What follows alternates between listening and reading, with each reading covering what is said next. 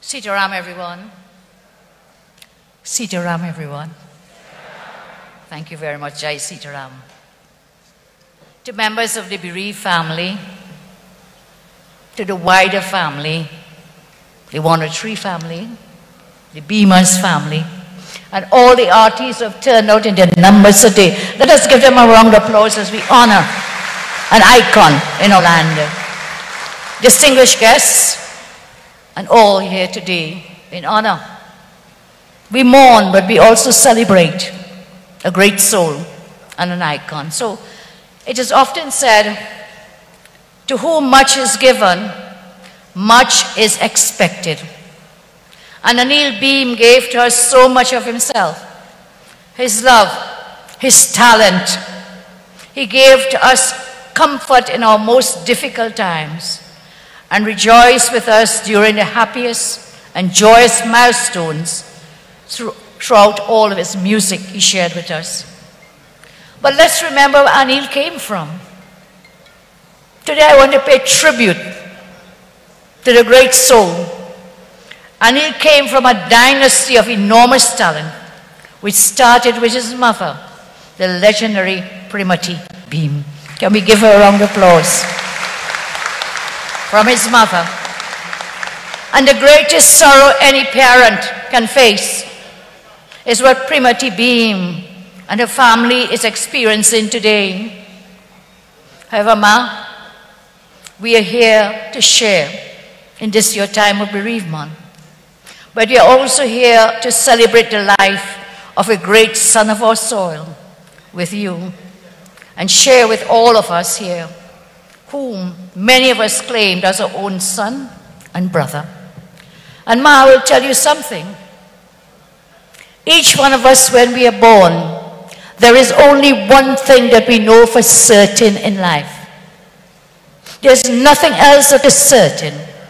There is only one thing when you take this life when you're born, and that certainty is one day you will die.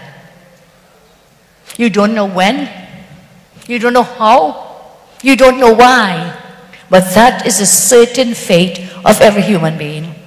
And I want to share with you my own grief and that of my mother. My brother died at a very young age. I remember the pundit telling us, and I want to share this with all of you who are now grieving and mourning. It is a fact of life that will give us the strength to take us forward. And the pundit told us, you know, our family were grieving, he died in an accident. And of course, my mother, the pain, and all of us. Pundit told us this. Said, Ma is all over crying, begging the Lord of death Please bring back my son. Bring back my son. I want my son back. And the Lord said, I will bring back your son. But you have to do one thing for me. You know what that is? You have to bring me a handful of mustard seeds. In Trinidad, you bring me a handful of corn or pigeon peas. Bring that to me, and I'll bring back your son. But there's one condition you must bring that from a home that has never known death. And so in every home we will have this grief. We will have this pain. So may I share with you and the family that we go through what is happening in every human life. And so what's, what's the story then? We know we will die one day. We don't know when, how, what, why, where. But you know what we have to do? During our lifetime, we must do the best that we can do. We must do the best to uplift others in whatever way we can. And this is uh, Anil had the gift and the talent that he shared with all of us, not only here in Trinidad and Tobago, but elsewhere. And so the outpouring of love we have seen over the past few days is a true indication of the profound respect and impact Anil had on our country's culture our local music industry, and on the lives of people in our country. Anil was an icon of music. He brought joy and happiness to so many of us through his voice, through his musical talents. Once you heard Anil's voice, you felt lighter on your feet. You felt more cheerful in spirit. You know, he had such a rare quality, if you remember, in that he had the ability to make you happy. And you know, you couldn't help but feel happy, joyful, and uplifted when you heard Anil's voice. Please give him a round of applause. We must never forget his voice. And Anil was the only person who could sing. He could sing the saddest song, and the listener would have a smile on their faces. You may be crying at the same time while he was singing, but his voice, his manner, his demeanor, his talent, his great soul uplifted us all the time. Calming, reassuring, and uplifting all at the same time. You know, someone sent me a clip when he passed. They sent me a clip of one of his early performances as a young man on Mastana Bahar. And even then, at that young age, you could see his talent shining through. It was unmistakable. Some of us are born with gifts, whether it is in song, whether it is in art, whether an ability to tell stories, but many of us never get to realize our potential. Anil was one of those whose special abilities were clear from a young age. And we are still all better for him sharing his talent with the world. So, as we say farewell, as I say farewell, Anil, I want us to remember this legacy will forever be remembered through the countless songs that he gifted us with. Songs that spoke to the hearts of people across generations. And his life is a testament to what a great human being should strive for love, kindness, compassion, and making the lives of others better. That was Anil. He was more than just a singer. He was a cultural icon. He used his talents to bring people together. And so it is fitting that we are here today at this Diwali Nagar site, which is also an important institution of culture to celebrate Anil's life and legacy.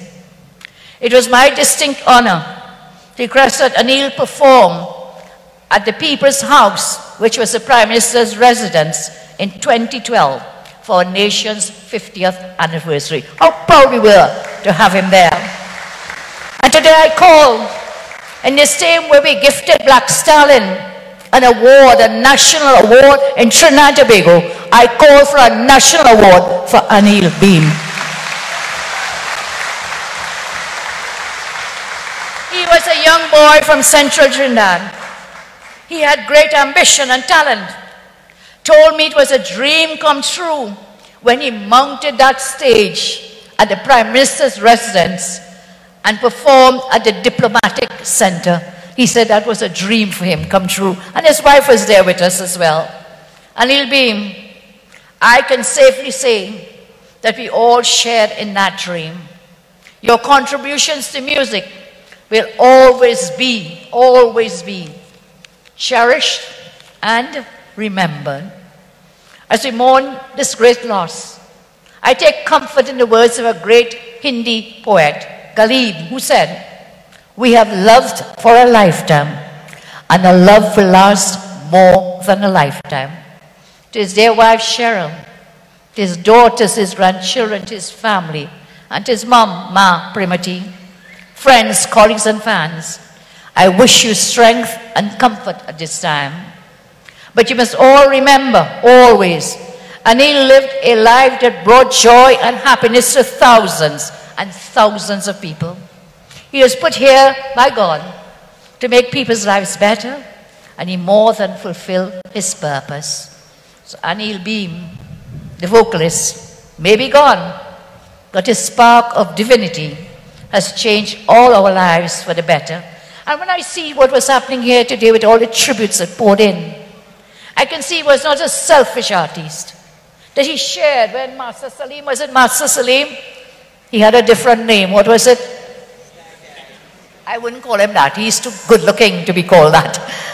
And when he spoke, it means Salim shared with others, the young man who was there crying his heart out.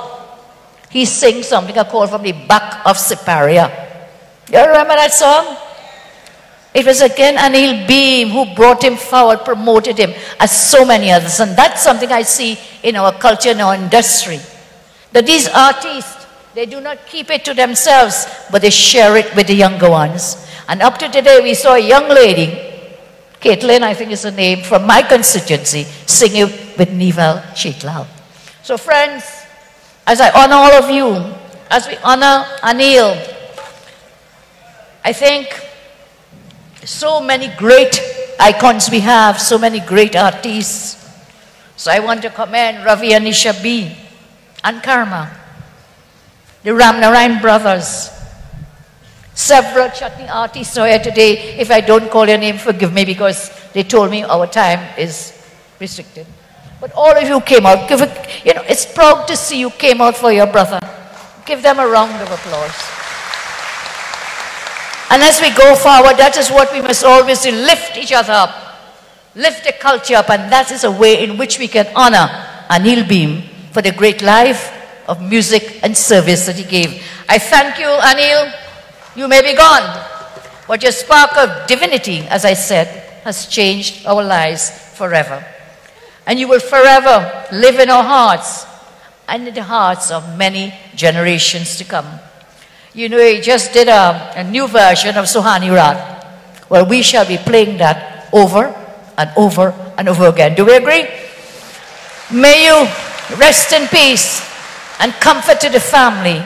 Take great joy in his life. And for the rest of us who live on, remember always, one thing you're sure of when you're born is you will die.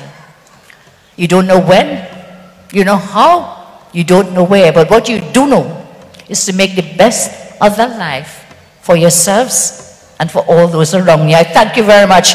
May God continue to bless you. Thank you so much.